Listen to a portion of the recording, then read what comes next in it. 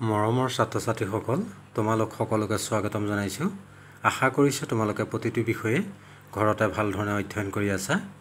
বিশ্ববিখ্যাত ব্যক্তি দুৰান্তৰ মতে প্ৰতিটো কাম একাগ্ৰতাৰে কৰিবা কোনো কামতে ফাঁকি মৰাৰ চেষ্টা নকৰিবা কঠোৰ পৰিশ্ৰম কৰিবা কোনো কামতে হেলা নকৰিবা।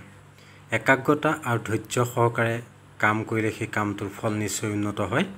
নিজক কেতিয়াও ফাঁকি মৰাৰ চেষ্টা নকৰিবা। নিজক ফাঁকি মৰা মানে নিজকে বহুদূৰ পিছ পেলাই থোৱাটোহে সূচায়। কঠোৰ পৰিশ্ৰম কৰিবা। পৰিশ্ৰম হৈছে সফলতাৰ মূল মন্ত্ৰ। আজি নৱম শ্ৰেণীৰ সমাজ বিজ্ঞান বিষয়ৰ ইতিহাস খণ্ডৰ তৃতীয় অধ্যায় অৰ্থাৎ মোৱামীয়া গণবিদ্যু নামৰ পাঠটোৰ প্ৰথম খণ্ডৰ গুৰুত্বপূৰ্ণ প্ৰশ্নোত্তৰসমূহ তোমালোকলৈ আগবঢ়াব বিচাৰিছোঁ। আশা কৰিছোঁ তোমালোকে প্ৰশ্নোত্তৰসমূহ প্ৰথমৰ পৰা শেষলৈকে অকণো স্কিপ নকৰাকৈ মনোযোগেৰে চাবা। আৰু যদি প্ৰশ্নোত্তৰসমূহ তোমালোকে বহীত লিখা নাই তেনেহ'লে লিখি ল'বা কাৰণ লিখি লৈ পঢ়িলে আমাৰ কথাখিনি বেছিকৈ মনত থাকে। এতিয়া প্ৰথম প্ৰশ্নটো হৈছে মায়া মৰা কি? মায়া মৰা হৈছে এখন বৈষ্ণৱ সত্ৰৰ নাম। এতিয়া এই মায়াময়া এই বৈষ্ণৱ সত্ৰখন আমাৰ চাৰিটা সংগতিৰ অন্তৰ্গত ই কাল সংগতিৰ অন্তৰ্গত চাৰিটা সংগতিৰ ভিতৰত কাল সংগতিৰ অন্তৰ্গত।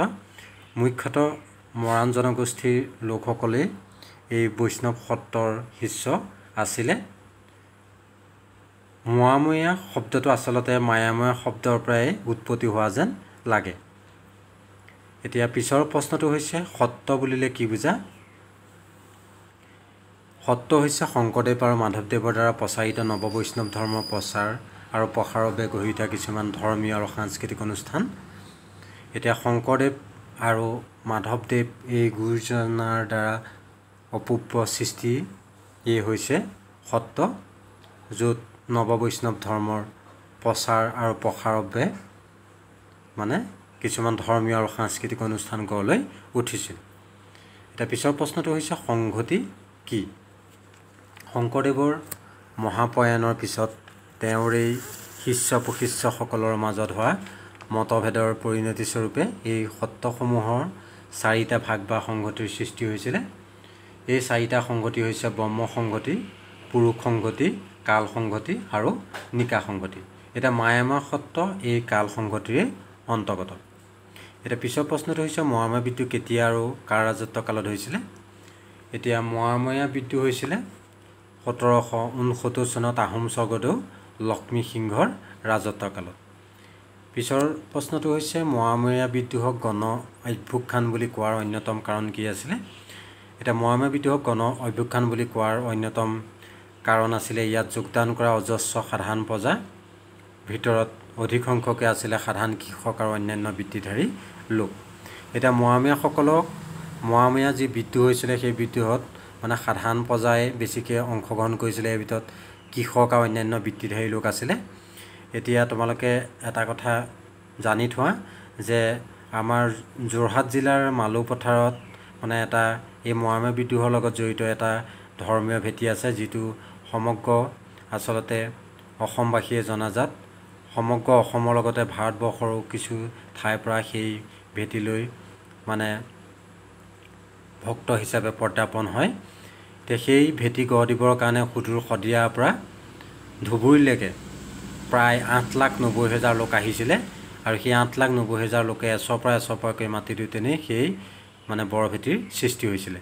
আৰু তাৰ পিছতেই মানে কি হৈছিলে ময়াময়া বিদ্ৰোহৰ সূত্ৰপাত হৈছিল এতিয়া পিছৰ প্ৰশ্নটো হৈছে কিমান বছৰ ধৰি মহাময়া বিদ্ৰোহ হৈছিলে আৰু কোনজন ৰজাৰ দিনত এই বিদ্ৰোহ শেষ হৈছিল? এতিয়া প্ৰায় পঁয়ত্ৰিছ বছৰ ধৰি মহাময়া বিদ্ৰোহ হৈছিলে। সোতৰশ ঊনসত্তৰ চনৰ পৰা ওঠৰশ পাঁচ চনলৈ প্ৰায় পঁয়ত্ৰিছ বছৰ ধৰি মহাময়া বিদ্ৰোহ হৈছিলে আৰু স্বৰ্গদেউ কমলেশ্বৰ সিংহৰ দিনত এই বিদ্ৰোহ শেষ হৈছিল। পিছৰ প্ৰশ্নটো হৈছে কোনজন আহোম ৰজাই প্ৰথম স্বৰ্গদেউ অব্লিক স্বৰ্গনায়ন উপাধি গ্ৰহণ কৰা বুলি অনুমান কৰা হয়? এতিয়া ইয়াৰ শুদ্ধ উত্তৰটো হৈছে চুহুংমুং চুহুংমুঙৰ প্ৰথম স্বৰ্গদেউ বা স্বৰ্গনায়ন উপাধি গ্ৰহণ কৰা বুলি অনুমান কৰা হয় আৰু তেওঁক দিহিঙীয়া ৰজা বুলিও কোৱা হয়। এতিয়া পিছৰ প্ৰশ্নটো হৈছে কোনজন মহামীয়া সত্ৰাধিকক চুৰামফা ভগা ৰজাৰ দিনত হত্যা কৰা হৈছিলে? এতিয়া ইয়াৰ শুদ্ধ উত্তৰটো হৈছে নিত্যানন্দদেৱ। নিত্যানন্দদেৱ আছিলে মহামীয়াসকলৰ গুৰু আৰু মানে মহামীয়াসকলে গুৰুক মানে যথেষ্ট সন্মান কৰিছিলে আৰু এই সন্মানৰ পৰীক্ষা কৰিব অৰ্থেই মানে প্ৰতাপ সিংহই কি কৰিছিলে দুজন ময়ামে শিষ্যক প্ৰমাণ কৰি চাইছিলে আৰু সেই প্ৰমাণৰ ফলশ্ৰুতিত কি হ'ল সেই শিষ্য দুজন মানে তৰোৱালৰ আগত নিজকে নিজেই শিৰচ্ছেদ কৰিব লগাত পৰিছিল। আৰু ইয়াৰ পিছৰ পৰাই মানে ময়ামীয়াসকলৰ গুৰুৰ প্ৰতি ভক্তি আৰু বিশ্বাসৰ পৰিমাণটো ক্ৰমান্বয়ে বৃদ্ধি পাইছিলে। এতিয়া পিছৰ প্ৰশ্নটো হৈছে আহোমসকলৰ প্ৰধান উপাস্য দেৱতা কোন আছিলে? এতিয়া ইয়াৰ শুদ্ধ উত্তৰটো হৈছে সোমদেৱ। পিছৰ প্ৰশ্নটো হৈছে ময়াময় বিদ্ৰোহৰ দুটা কাৰণ লিখা। প্ৰথম কাৰণটো আহোমৰ ধৰ্ম নীতিৰ পৰিৱৰ্তন আৰু দুই নম্বৰটো হৈছে আৰ্থ সামাজিক কাৰণ। এতিয়া ধৰ্ম নীতিৰ পৰিৱৰ্তনৰ ভিতৰত আছে গদাধৰ সিংহই মানে বহুতো সত্ৰানুষ্ঠানবিলাক ধ্বংস কৰি তাৰ পৰা ধন সোণবিলাক লুট কৰি লৈ গৈছিলে। আৰু লগতে কি কৰিছিলে শিৱসিংহৰ মানে পত্নী ফুলেশ্বৰীয়ে মানে জোৰ জুলুমকৈ মৰামীয়াসকলক মানে মন্দিৰলৈ আনি তেওঁলোকৰ বলিকটা তেজৰ ফুট দি প্ৰসাদ খুৱাইছিলে। আৰু ইয়াৰ দ্বাৰাই মৰামীয়াসকলৰ ধৰ্ম নষ্ট কৰিছিলে। আৰু ইয়াৰ দ্বাৰাই মানে কি হৈছিলে মৰামীয়াসকল আহোমৰ বিপক্ষে বিক্ষুব্ধ হৈ পৰিছিলে। আৰু দুই নম্বৰ কাৰণটো আৰ্থ সামাজিক কাৰণ। আৰ্থ সামাজিক কাৰণৰ ভিতৰত এটা মুখ্য কাৰক আছিলে পাইক শোষণ এতিয়া এই পাইক শোষণ সম্পৰ্কত তোমালোকক পিছত এটা প্ৰশ্ন দিয়া হৈছে। এই প্ৰশ্নটোত তোমালোকক মানে বুজাবলৈ চেষ্টা কৰিম। এতিয়া পিছৰ প্ৰশ্নটো হৈছে কাৰী আৰু চমুৱা পাইক কাক কয়? এতিয়া কাৰী পাইকসকলৰ সংখ্যা অধিক আছিলে আৰু এইসকল লোকৰ শাৰীৰিক শ্ৰমৰ পৰিমাণ বৃদ্ধি হোৱাৰ লগতে শোষণৰ বোজাও বৃদ্ধি পাইছিলে।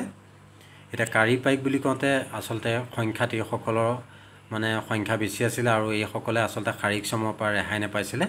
আৰু এওঁলোকৰ মানে কি হৈছিলে ওপৰত শোষণৰ পৰিমাণ ক্ৰমান্বয়ে বৃদ্ধি পাইছিলে।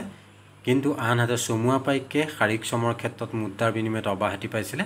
আৰু প্ৰথম অৱস্থাত চমুৱা পাইকৰ সংখ্যা কম আছিল যদিও আৰু পিছলৈ ইয়াৰ সংখ্যা বৃদ্ধি পাইছিলে। মানে চমুৱা পাইকৰ সংখ্যা যেতিয়া ক্ৰমান্বয়ে বৃদ্ধি পাইছিলে আৰু তাৰ লগে লগে মানে কি হৈছিলে কাৰী পাইকৰ শাৰীৰিক শ্ৰমৰ পৰিমাণ বৃদ্ধি পাইছিলে আৰু লগতে তেওঁলোকৰ শোষণৰ পৰিমাণো বৃদ্ধি হৈছিলে। এতিয়া এইখিনিতে আৰু এটা প্ৰশ্ন সৃষ্টি হ'ব যে কাৰী পাইক আৰু চমুৱা পাই পাইকৰ পাৰ্থক্য কি? এতিয়া কাৰী পাইক আৰু চমুৱা পাই পাইকৰ পাৰ্থক্য বুলি কওঁতে আমি প্ৰথমতে ক'ব লাগিব যে প্ৰথম অৱস্থা কাৰী পাইকৰ সংখ্যা অধিক আছিলে আনহাতে চমুৱা পাইকৰ সংখ্যা কম আছিলে। আৰু চমুৱা পাইকে মানে কি হৈছিলে মুদ্ৰাৰ বিনিময়ত শাৰীৰিক শ্ৰমৰ পৰা অব্যাহতি পাইছিলে কিন্তু মানে কাৰী পাইকে মুদ্ৰাৰ বিনিময়ত সেই শাৰীৰিক শ্ৰমৰ পৰা অব্যাহতি পোৱা নাছিলে। আশা কৰিছোঁ তোমালোকে চাগে বুজি পাইছা। যদি তোমালোকে কিবা কাৰণত বুজি নোপোৱা মোক তোমালোকে কমেণ্ট বক্সত জনাবা আৰু পৰৱৰ্তী খণ্ডত মই তোমালোকক মানে বুজাবলৈ চেষ্টা কৰিম। পিছৰ প্ৰশ্নটো হৈছে কীৰ্তিচন্দ্ৰ বৰুৱা কোন আছিলে? এতিয়া ইয়াৰ উত্তৰটো হৈছে কীৰ্তিচন্দ্ৰ আছিলে দিহিং সত্ৰৰ শিষ্য। এতিয়া এইখিনিতে এটা কথা জানি থবা যে কীৰ্তিচন্দ্ৰ বৰুৱাৰ আচলতে যিটো মানে ব্যক্তিত্বটো আহোম বুৰঞ্জীত এক উল্লেখনীয় আছিলে। আৰু তেওঁৰ আচলতে ময়াময়া বিদ্ৰোহত তেওঁৰ অৱদান মানে তেওঁৰ কাৰণেও আচলতে ময়াময়া বিদ্ৰোহৰ এটা পৰোক্ষ কাৰক আছিল বুলি ক'ব লাগিব আমি।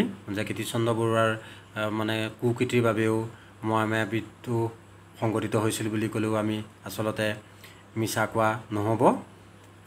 এতিয়া পিছৰ প্ৰশ্নটো হৈছে ৰাঘৱ মৰাণ কোন আছিলে? তেওঁক কোনে হত্যা কৰিছিলে? এতিয়া ৰাঘৱ মৰাণ আছিলে মৰামৰীয়া এজন প্ৰধান নেতা। তেওঁক আহোম সমৰ্থকসকলে মণিপুৰী ৰাজ কৰি কুৰংগ নয়নী সহায়ত হত্যা কৰিছিলে। এতিয়া মৰামীয়াসকলৰ এজন প্ৰধান নেতা আছিলে ৰাঘৱ মৰাণ। আৰু তেওঁক মানে কোনে হত্যা কৰিছিলে আহোম সমৰ্থকসকলে মণিপুৰীৰ এগৰাকী কুঁৱৰী আছিলে।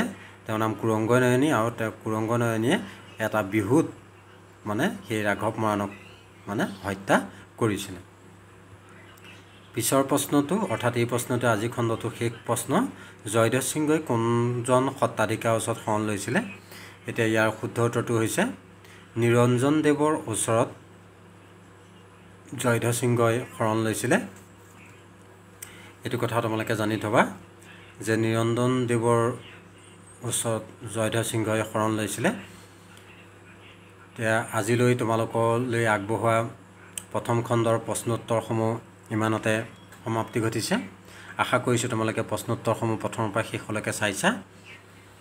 আৰু পৰৱৰ্তী খণ্ডত এই পাঠটোৰ পৰৱৰ্তী মানে যিখিনি প্ৰশ্নোত্তৰ থাকি গৈছে সেই প্ৰশ্নোত্তৰসমূহ আগবঢ়াবলৈ চেষ্টা কৰিম। আৰু লগতে তোমালোকৰ যিখিনি পাঠ ইতিমধ্যে মই আগবঢ়াবলৈ বাকী আছে সেই পাঠসমূহ মই তোমালোকলৈ একাধিকক্ৰমে আগবঢ়াম।